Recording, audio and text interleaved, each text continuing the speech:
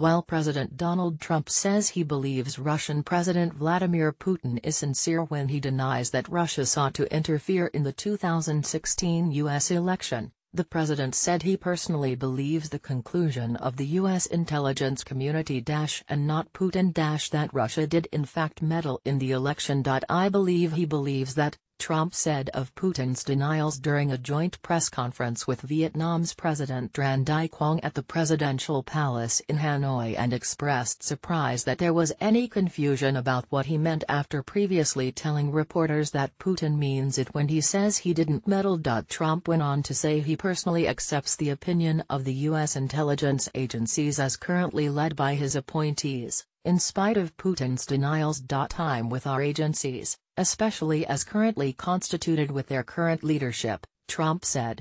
I believe in our intel agencies, our intelligence agencies, as currently led by fine people, I believe very much in our intelligence agencies,